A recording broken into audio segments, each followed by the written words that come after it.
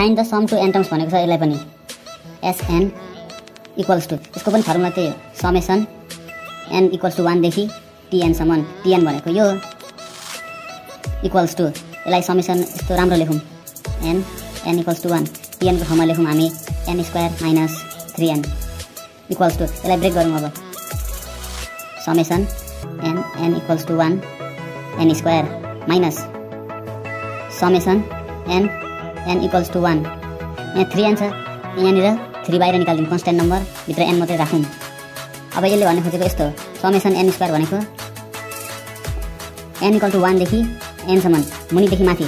वानदेखि एनसम्म स्क्वायर हाल्दै जानु भनेको। One square plus two square plus three square plus four square plus dot dot dot n स्क्वायरसम्म minus three times वानदेखि एनसम्म जोड्नु भनेको। समेसन भनेको। प्लस गर्नु भनेको one plus two plus three plus four plus dot dot dot plus n equals to. यो भनेको sum of first natural numbers square of natural numbers हो square square square square n स्क्वायरसम्मको यसको formula के हो? N n plus one two n plus one by six यो formula हो। Minus three times यो भनेको one two three four five six seven sum of natural number हो। Some of natural नम्बरको formula n n plus one by two यो formula हो।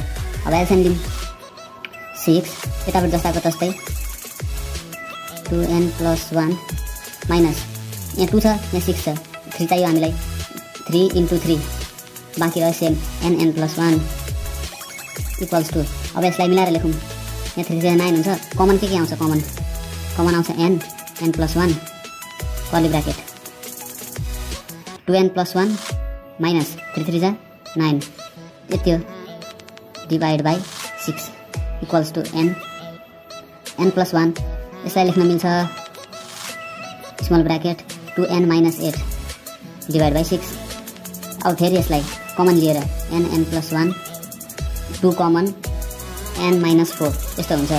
Divide by six two one जा two two three जा six भनेपछि हाम्रो final answer कति आयो?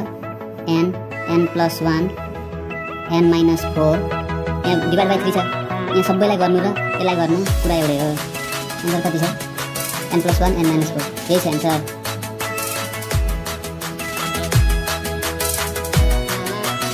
यो पनि सजिलै छ। By by thank you